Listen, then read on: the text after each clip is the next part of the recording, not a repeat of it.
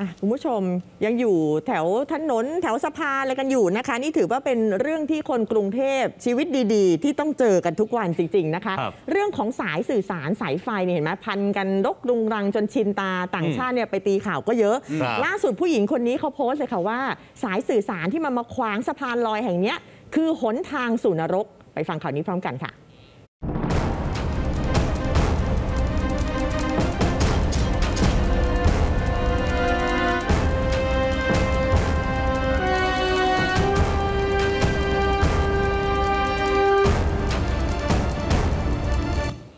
คุณผู้ชม ดูซิมันใช่หนทางสู่นรกจริงไหมมาดูพร้อมกันนะคะ ผู้ Facebook คนผู้ใช้ Facebook คนหนึ่งเขาโพสต์ภาพนี้ครับณผู้ชมเห็นไหมดำๆเนี่ยอ่าสายสื่อสารมัดใหญ่เบิ่มเลยนะคะ ขวางทางตรงสะพานลอยตรงบันไดพอดี ตรงขอบเลยนะ ปกติอย่างแถวอโศกเราก็จะเห็นแบบบางทีมันอยู่ตรงเหนือหัวไปบ้างอ่าอะไรอย่างนี้ใช่ไหมนี่มันตรงที่พื้พานดตรงทางเลย ต้องเดินข้ามกันไปนะคะ นี่อยู่ตรงสะพานลอยหน้าร้านเฝอวงเวียนใหญ่ค่ะ ตอนกลางคืนเนี่ยใครจะลงต้องดูดีๆนะ มันมีสายขึงขึ้นสูงเลย ขวางทางลง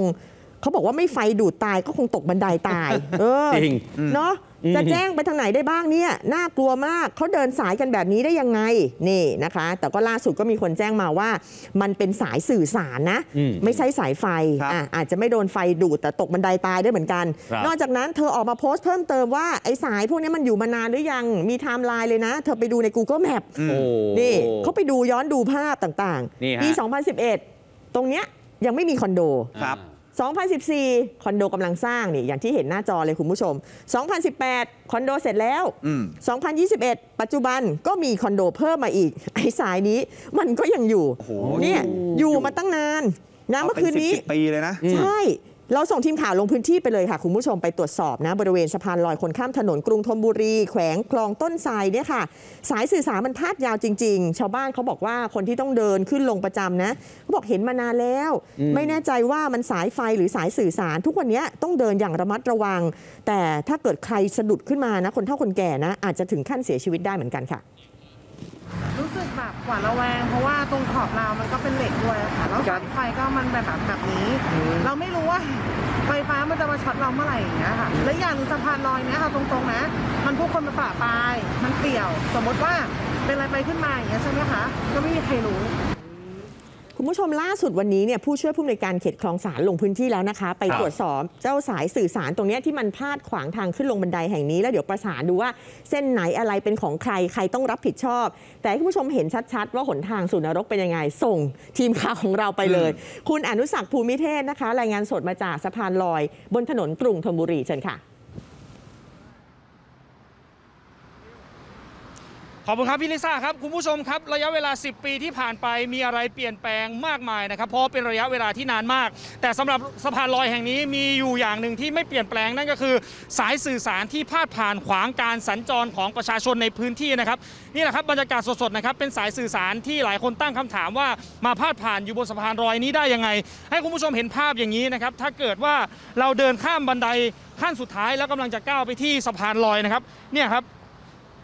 เท้าเราสามารถเกี่ยวกับสายสื่อสารแบบนี้ได้ ตอนนี้เป็นช่วงกลางวันนะครับ แต่ถ้าเป็นช่วงกลางคืนที่สายสีดำกลืนกลืนไปกับความมืด คุณผู้ชมครับสามารถเกี่ยวแบบนี้ แล้วถึงขั้นล้มได้เลยนะครับ ซึ่งชาวบ้านในพื้นที่ก็บอกนะครับว่ามีคนล้มไปแล้วนับไม่ถ้วนนะครับ แล้วถ้าเป็นคนที่อยู่นอกพื้นที่ หรือว่าคนที่ไม่ชินทางก็อาจจะสามารถ ล้มแล้วก็บาดเจ็บได้เลยนะครับคุณผู้ชมครับ และวันนี้ครับคุณผู้ชมเราได้พูดคุยกับทางฝั่งของคุณป้าคนหนึ่งนะครับ ที่ระหว่างที่เราทำข่าวเขาเดินทางมาพอดีนะครับ ซึ่งก็ต้องมีการพยุงกันนะครับ เพราะว่าป้าคนนี้ก็เกือบจะล้มเหมือนกัน คุณป้านะครับ บอกว่าเธออาศัยอยู่แถวนี้ แล้วก็ใช้สะพานนี้เป็นประจำไม่เคยเห็นสะพานไหนเป็นแบบนี้มาก่อน ตัวเองไม่รู้ว่าเป็นสายอะไรกันแน่ แต่ที่แน่ๆคือรู้สึกกลัวเป็นอย่างมาก แถมขึ้นลงลำบากสุดๆ อยากให้หน่วยงานเข้ามาเร่งแก้ไขปัญหานี้ครับ กลัวยังไงอะกลัวสะดุดล้มอะ และขาลงก็กลัวแบบหัวทิ่ม ขาลงนี่อันตรายมากเลยถ้าแบบไม่ได้ดูอะ ตอนขึ้นถ้าสะดุดเนี่ยมันยังอยู่บนนี้ครับ ตอนลงอะ ถ้าสะดุดจะทิ่มไม่รู้กี่ขั้น ครับไม่เหลืออ่า อยู่ข้างนอกก็ยังจะดีฝ่า อย่างนี้มันอันตรายเกิน ไม่เคยเห็นเลย เนี่ย มีที่เนี่ย ก็ให้ออก ให้ออกจากช่วงคนขึ้นลงเนี่ย เพราะว่ามันอันตรายน่ากลัว กลัวยังไงอะ คุณผู้ชมครับและนี่เป็นบรรยากาศล่าสุดบนสะพานลอยนะครับวันนี้ทีมข่าวช่องวัน 31 ได้ประสานไปยังสำนักงานเขตคลองสารกสทชเขต 11 การไฟฟ้านครหลวงรวมถึงทีมงานของผู้ว่าอัศวินด้วยนะครับวันนี้ทุกหน่วยงานได้เข้ามาตรวจสอบเรื่องนี้อย่างจริงจังตอนนี้ทราบแล้วนะครับว่าสายสื่อสารไหนเป็นของใครบ้าง วันนี้ผมได้พูดคุยกับนายวุฒิชัยเชื้อมั่นคง ผู้ช่วยพอเขตคลองสารนะครับเปิดเผยนะครับว่าสะพานแห่งนี้กรมทางหลวงชนบทเป็นผู้ดูแล และสายสื่อสารเหล่านี้ ไม่ได้อยู่ในความรับผิดชอบของทางสำนักงานเขตนะครับแต่ก็กำลังประสานไปยังเจ้าของทั้งเจ้าของสายสื่อสารทั้งหมดนะครับแนวทางแก้ไขก็คือต้องตัดสายเหล่านี้ทิ้ง แล้วเดินให้อยู่ในท่อที่อยู่ใต้สะพานแทน ซึ่งคาดว่าจะใช้เวลาไม่นานนะครับ และขอบคุณคนที่โพสต์เรื่องราวนี้ด้วยครับ ที่ทำให้หน่วยงานได้รับทราบถึงปัญหาครับ เบื้องต้นเนี่ยเราจะแก้ไขโดยการให้รื้อย้ายออกอพาดสายยังไงก็อาจจะเดินท่อด้านด้านข้าง ด้านล่างไปนะครับ น่าจะไม่นานนะครับ เพราะว่าทุกหน่วยงานก็ มีความรีบเร่งที่จะแก้ไขปัญหานี้อยู่แล้วนะครับ เนื่องจากเป็นปัญหาที่เป็นความเดือดร้อนคุณผู้ชมครับวันนี้ถือได้ว่าเป็นการทำงานร่วมมือกันนะครับของหน่วยงานที่ยอดเยี่ยมจริง ๆทำงานกันอย่างรวดเร็วมากนะครับ ตอนนี้มีการเริ่มตัดสายไปบ้างแล้วนะครับ อย่างที่คุณผู้ชมเห็นครับนี่ครับ นี่เป็นสายไฟเบอร์ออปติกเชื่อมกล้องจราจรนะครับของหน่วยงานส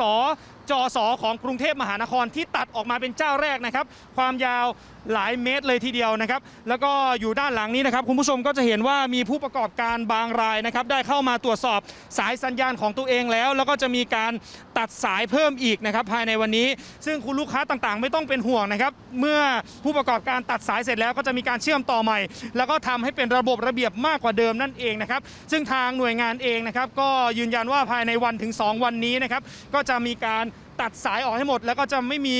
สายสื่อสารพาดผ่านที่สะพานลอยแห่งนี้อีกนะครับย้ำอีกนิดนึงครับคุณผู้ชมครับ ทางกสทชนะครับ